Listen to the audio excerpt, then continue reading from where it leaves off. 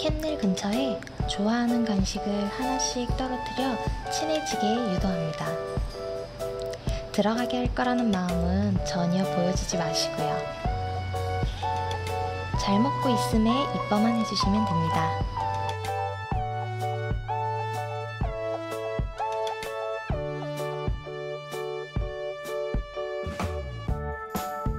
캔넬 문은 잠궈주시고 캔넬 안쪽으로 반려견이 가장 좋아하는 간식들을 하나씩 하나씩 넣어줍니다.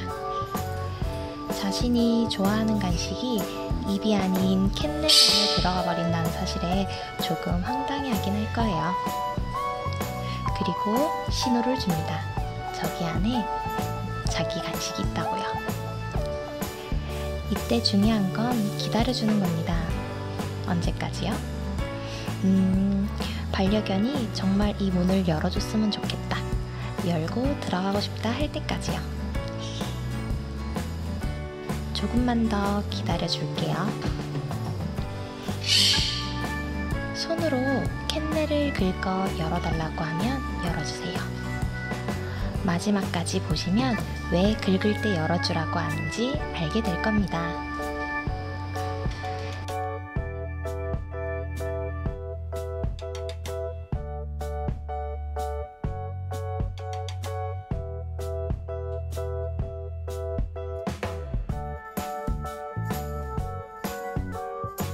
나오게 할 때도요, 이름 부르면서 나오라 하지 마시고, 캔넬 밖에 간식을 뿌리면 저절로 나오게 될 겁니다.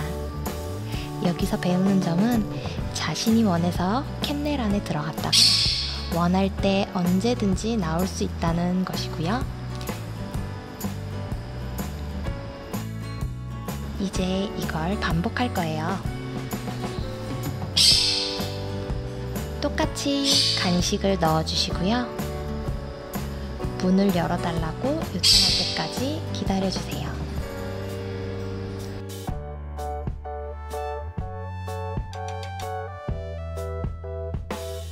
애달픈 눈빛에 넘어가 바로 문을 열며 문제를 해결해 주지 마시고요.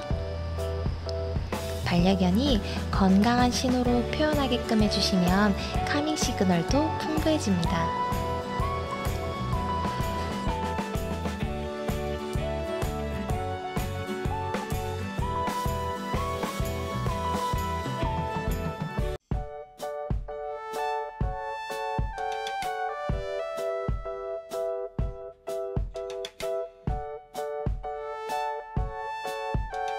도저히 몰라 하는 것 같아 하거나 집중력을 잃어서 다른 장소로 이동해버리기 시작하면 캔넬 안에 추가적으로 간식을 넣어주시는 걸로 다시 시작하시면 됩니다. 신호를 준다면 칭찬을 해주시고 문을 열어주시고 보상을 충분히 누릴 수 있도록 시간을 주세요.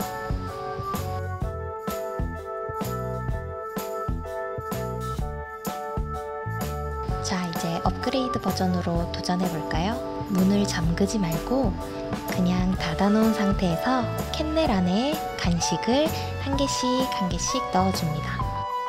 이 훈련을 위해 아까 긁을 때까지 기다리라고 설명을 해드린 겁니다. 한 번 더 해볼까요?